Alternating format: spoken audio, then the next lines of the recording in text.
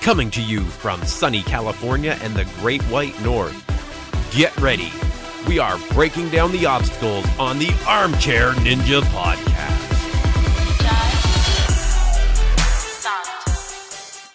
Hello, everyone, and welcome back to the Armchair Ninja Podcast. It is Saturday, April 14th, 2018.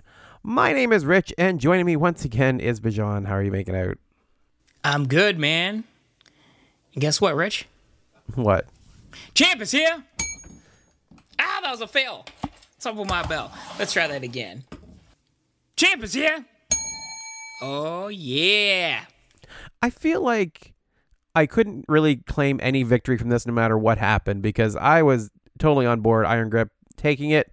But I think you actually called it as well that, you know what, it was not quite the blowout that I was expecting. So, yeah, I'll give you that boy. double victory for you on that one. More, more than anything else, I think it was the like the viewers one. I have to say, this has got to be one of the funnest episodes of the season, maybe best episode of the season so far. Very, very close. We had very, very strong teams, very strong runs, and entertaining. Like just all around a great package. And uh, yeah, this Kyle Soderman fella, he's going places. He also takes definitely takes a page out of your book for how to approach the chorus, which is Dude, for real. throw some elbows, get in there, mix it up. You can, you can get it done. You just got to push through.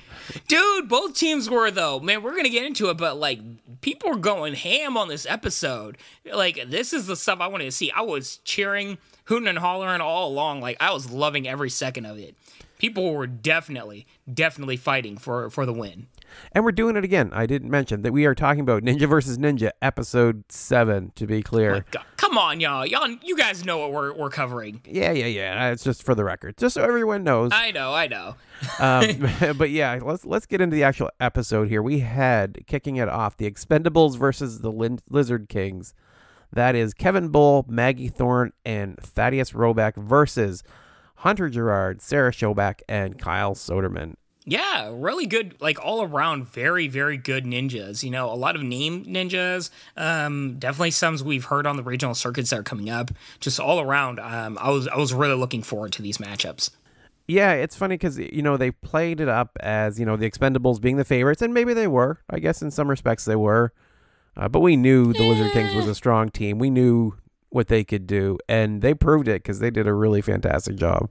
Yeah, I mean, it, it's one of those things where it's like, if you know uh, Expendabulls are good, it could have gone either way, I guess, but I wouldn't really consider Expendabulls like way higher than the Lizard Kings in any facet of it. I was really.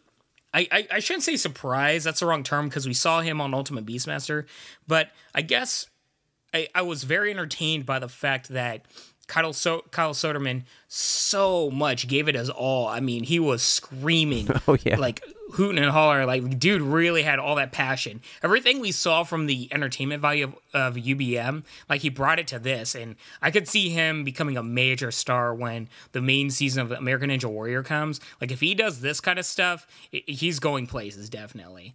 But you know, not just him. I mean, uh, uh, really, a lot of the Lizard Kings. They were really show like showing off what they're capable of. I I really enjoyed them. Any any matchups or anything that really stood out to you? Yeah, I mean the first one of them the whole night, Kevin Bull versus Kyle Soderman was insane. Like those guys were both in it to win it. They did not want to give up any like a square inch of that space. Kevin's grabbing onto his, you know, Kyle's ring. They looked like they were angry, like they were competing hard to Dude, reach that buzzer first. At it. Was this the one where Kevin Bull like swung off of Kyle's ring and just like completely passed him up? yeah, that would be the one. Oh my god, that was so amazing, y'all. So like straight up, like Kyle goes into it, and I felt like Kyle was being like the antagonist, right? Like Kyle's Yeah. kind of blocking Kevin. And Kevin Bull, like a straight up G, is like, all right, and he straight up snatches Kyle Soderman's ring from him and kicks out. That was so dope. Like, just like a straight boss. He's like just showing up the kid, so to speak, you know? I loved every ounce of that. But it went back and forth, back and forth because it ended with, uh, I think, Kyle winning, right? Yeah, it's unbelievable. Kyle actually ended up winning it after that because he was able to catch up and pull ahead. Like it was so back and forth, like a fantastic race. And the whole time I was thinking like Bijan is gonna love this race. This would be like one of his favorites of the season for sure. Dude, I was freaking out. It had everything. It had the fighting. It had straight up snatching from one another. It had a back and forth in terms of like the lead. It had people going for it. Um, just all around, I loved it. And Kyle Soderman, by the way, pressed Kevin Bull's buzzer on his side. just everything around was just so dope. Didn't he run up his side too? Like he ra- Yeah, like- just yeah. just shade going back and forth, man. Yeah, there was there was no uh, love given. Uh, actually, you know what? You've got the episode up. Did he like chest bump him or like like get right in his face as he came up too? It seemed like it if I when I saw it at a glance. Yeah, so so they kind of like you know uh, how do I say this? They kind of cross paths right after Kyle presses the button. You know, Kevin Bull's running up that same path because Kevin Bull's on his side, and they they kind of chest bump, but really not like at each other because Kyle is going straight towards the crowd, probably toward his team. It might be Akbar and Matt, but my guess is he's like going out to his teammates. Um, he's just excited. Hit like his face isn't even towards Kevin Bull. Gotcha. It was just incidental, basically. Yeah, it kind of looks like if you're looking at all the like everything going on, you might you know perceive it as like, oh, they're antagonistic. They probably didn't like each other. But my guess is like they weren't even even thinking that. Kyle was just so excited. That's my guess. Okay, cool. I'll tell you this though. Um, the next matchup, like Maggi Thorne, they got a little vignette of Maggi Thorne running across like a row of like ten. Uh, what do you call it? Not trampolines. What? what Uh, the treadmills. Yeah, 10 treadmills, like sideways, running across them. Do not do that, y'all. Please don't do that. I'm like, what? it doesn't matter how slow you're going on those things. That is a very quick way of hurting yourself. you just need to slip once to flip over and slam the side of your head into one of those things. Don't do that. I was really surprised they showed it because it did seem insanely dangerous. Like it just seemed like something you should not be encouraging people to do. And I missed that. Like they say that went viral. I didn't see that at all. I mean, I don't know. I, I apparently need to follow more ninjas. But that said, I mean, I, I, I would just be screaming if I saw it anyways. Yeah, I don't. I don't You, think. you want to know one thing I won't be showing my nephew and nieces? That. Yeah. I mean, that was a pretty good race. Sarah ended up falling on the floating tiles. Sarah was not quite up to the skill level we've seen her at before. She did not have a good night. Yeah. I mean, we'll talk about it. It, it could be many things. I, I, I can't knock her. She was up against some tough talent, to be honest with you. That said, I mean, we got to talk about the fact they were also going at it on those rings. I mean, you want to talk about a complete win in terms of an obstacle this season? It's got to be those rings because everybody is going like hardcore on those things, like just bashing into each other, fighting for it. I love it. But yeah, like Maggi Thorne almost pretty much elbows poor Sarah in the face, dude. I loved it. Yeah, I come to think of it, Sarah ended up falling trying to catch up. I find like once the first person goes across, those tiles are bouncing around so much. It's it must be really tough to kind of get your footing after that. Yeah. But I don't know. I, I was just so in love by the fact that they were fighting for those rings. but it, once again, at, a- after a certain point, Sarah kind of just like pulls herself out of the way so Maggi Yeah, can go she did. ahead. No, just just kick, wrap your leg around her, throw her down into the water. I don't care if you just like put your leg up on her head and just like pull down. I don't care. Just do it. It seems like more of them should be going further into it. Like they're trying to dismount some fro- from so far back. Once you're banging into somebody, you know, like I feel like you should take another peg or two to get your dismount.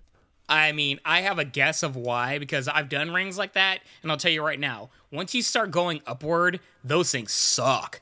Like Okay. it drains so much out of you. It's way easier to go like downward or you know straight horizontal. But once you start going up, it's far more of a swing up to do. So I'm I'm guessing they don't want to expend that kind of energy. Okay, so uh, other than that, I mean, Hunter did fantastic. No, you know, no, no big surprise there. He just got ahead and and won against Thaddeus. It was not much of a competition on that particular. Yeah, that was that was just a blowout, man. yeah. Um, the relay. what did you think of the relay? With the relay, honestly, it was very even until the point where Hunter was going against Kevin Bull, and Hunter just got a little bit ahead of him on those floating steps or floating tiles, and Kevin was going like right after him on the same path on the floating tiles. And I don't know if you noticed this, Rich, but I've seen kind of a theme when it comes to that that obstacle, where if you take the same exact path right after somebody takes it, where those things are still bouncing up and uh, down, you know, like springing around like a lot of people fall immediately doing that. It- It's not a guaranteed thing, but I, I've seen like the failure rate much higher at that point, just because they're no longer stationary. They're kind of all over the place. So my guess is that's what happened.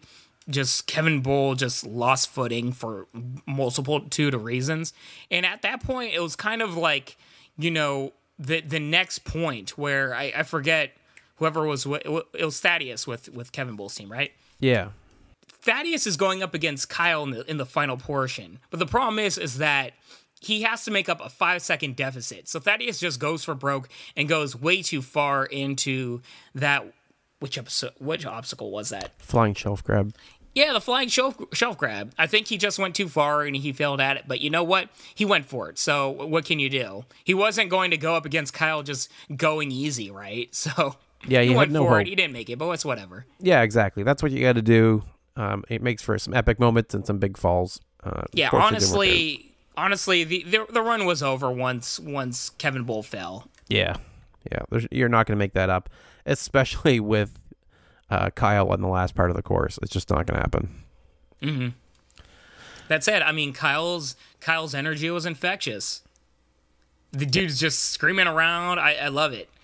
I don't know. They, they might need to work on his story, his vignette. It's just, it's, uh, I, I mean- you know, I, I love you, Kyle, and everything, but it's the same story we hear from everything. I don't know. Maybe I'm just a hater, but it's like, how many stories do we have to hear from Midwest? Oh, I work on my family's blah, blah, blah, and I do this. And Well. I, I'm I like, think. Kyle Soderman does more than that. Come on, y'all. Well, here's the thing, right? Well, he's the course tester, right? He's the guy that's never been on an obstacle course before. Now, right? Yeah. Not in some high level competition like this. Yeah, it's kind of sad that they have to do that, but yeah, it's what it doesn't leave them with a whole lot to work from. I guess there there's so many more avenues for Kyle's story. I feel, I feel like, but yeah, it's whatever.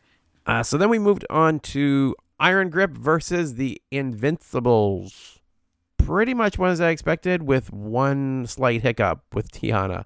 It was uh, like Mathis was just as fast. I remember, and matter of fact, I had the fastest time of the night. No, I think to Mat- Mathis like opened some eyes. I mean, he, he we all remember like we the hardcores remember him from College Ninja Warrior, but you have to remember like I feel like a lot of people still don't know who Mathis is, and now he's starting to come out on his own. I mean, really, this episode was the night for Mathis and Kyle Soderman. Th- those were the two standout names, and uh, I, I don't know. He looked phenomenal. He- you know, he's got such a great look. Like a, he's kind of like he is a kid. He's 19, and and just like the the hat backwards and everything, he's got his own style and look, and he stands out from the crowd. And that's one thing you definitely want. Which is even harder to do, seeing of how both the InvincAbels and the Iron Grip had the same damn outfits, pretty much. Yeah, I don't know was- what they were thinking doing that, but You know what? You we got to give a quick shout out here because I feel like Victor Juarez had like an amazing run, incredibly fast. yeah, he did. Just wasn't quite fast enough. Like that, that dude really did a good job of keeping up. hmm But yeah, the matchup overall was pretty lopsided. Daniel ended up crushing it. Tiana ended up falling on her dismount of the rings. Uh, that got fast forwarded. Yeah, Which- that surprised me though, because Tiana is very strong, especially when it comes to grip. I mean, jokes aside, she's from Iron Grip and everything, like the team. Right. But like, really, she does train a whole lot when it comes to upper body. If there was one area I, w- I w- didn't expect her to fail at, was that. And just rewatching it now, it looks more like it was an error in transition where she just didn't get enough swing, less of you know losing her her grip on it. Exactly. Like, I mean, that was like a simple slip up I think anyone could make.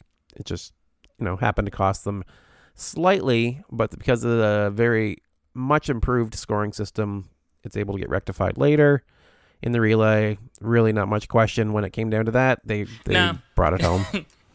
they brought it home. Um, Daniel Gil once again looked phenomenal. This guy, he's very much got shades of Joe Moravsky, where he just makes it look easy. And I, I don't know this. If there is a key to this team's success, it is the one-two punch of both Daniel Gil and Mathis, and I, I see them doing fantastic things. Neither of us picked them for for the win, huh? No, not the overall win. They were kind of like an honorable Man. mention there at the end. I went back and checked because I had to make sure which team you had picked. as your third match because you went back and forth so many times. So when I listened back, I realized I mentioned Iron Grip as like a as one that I don't know why we didn't pick, but they were there. Yeah. I mean, I would not in the slightest be stunned if they win this whole show. You know, past few episodes, we we we come across some teams where it's like, oh yeah, they'll do some well, but I don't really expect them to win the whole show. This is a team would not be stunned in the slightest if they win. They, you know, are fantastic. Yeah, seeing them in this episode brings it, you know, reminds us again of why they're how good they are and yeah, their potential to absolutely do that. So it came down to Lizard Kings and Iron Grip in the finals, and uh, that's a heck of a finals.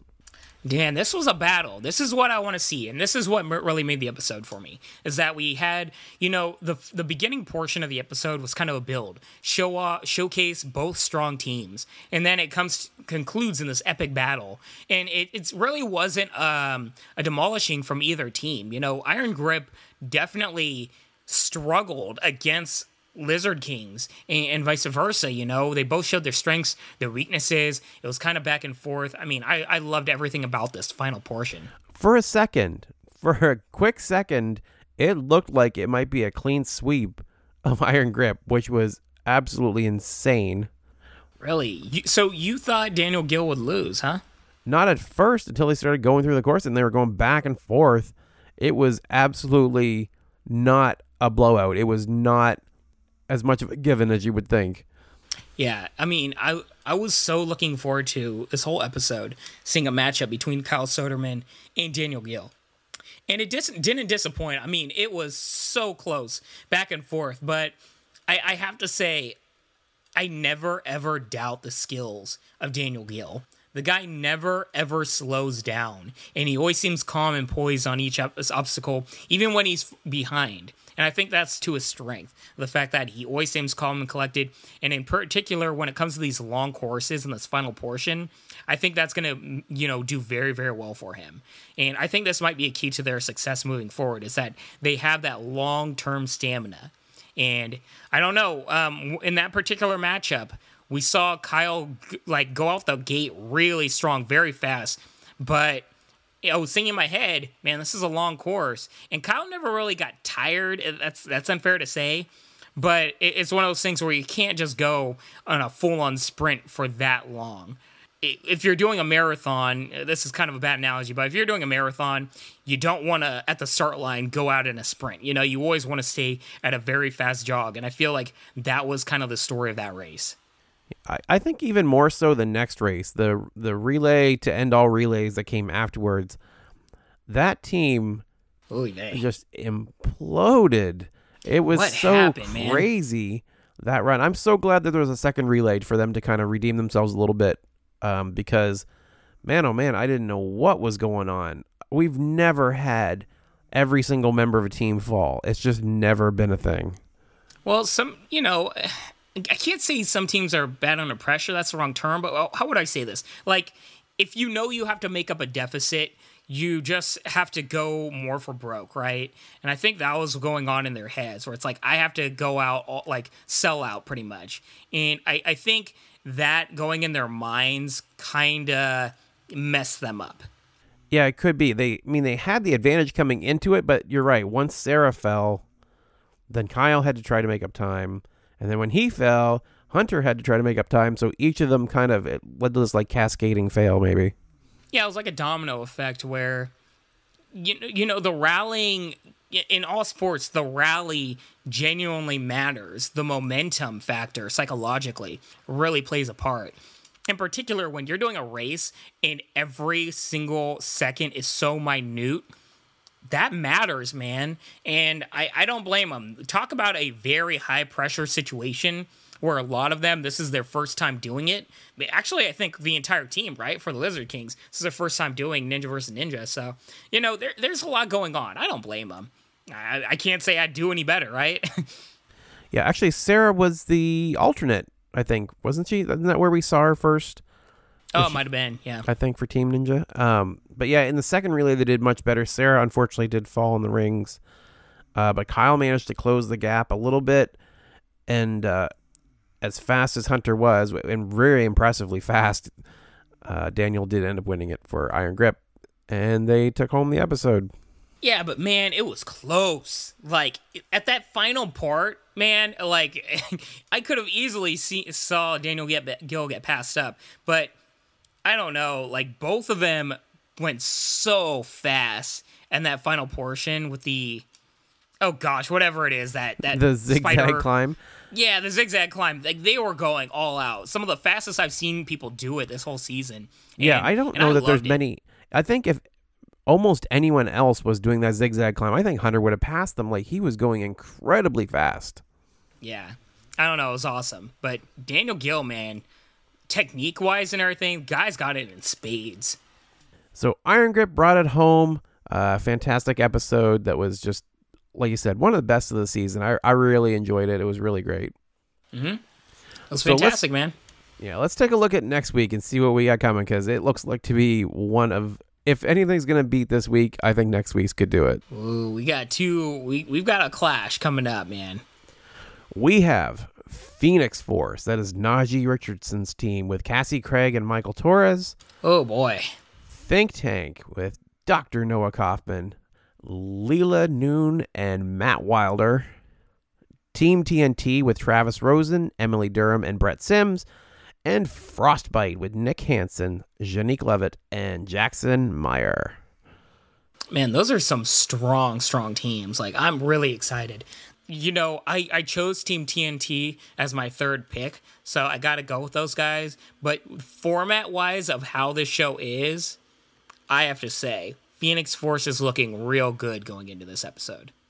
Yeah, and I'm like, I'm going over all these teams. As I said them out loud, my mind changed three times, I think. I don't know who to pick. I'm a little confused. Now that I'm looking through, I'm like, wait a minute. They have, all right. Yeah, I mean, I can't really discount Frostbite now that I'm looking at it. Nick Hansen's fantastic. So is Unique. Obviously, we saw what she could do. Deceptively fast. And Jackson Meyer is the the Boy Scout guy. Like he's really mm-hmm. good too. I'm gonna have to go with Frostbite. I, that's as much as I love Najee Richardson, one of my favorite ninjas, and same with Noah. You know what? As I read that out loud, I feel like Frostbite overall is just too strong to ignore. Going for the layup, man. I love it. Taking chances. That's a great pick. Great, great pick. As you already documented, they're deceptively fast. Like they're, they're kind of underrated. When you think Nick Hansen, you don't really think speed. But I've seen him in person. I've seen him on the show. Guy can go. Kind of got some of that Lan- Lance Pekus vibe, you know, where it's like you you see a bigger guy and you're like, oh, you know, he'll do well. But when he's running, you're like, dude is going. Now, I'm curious to see how well they do on the relays. You know, that's where they can really show off their strength, their upper body. You know, Phoenix Force is a young team, so I'm looking to see them do well in the longer portions of the race. It just depends if they can get there.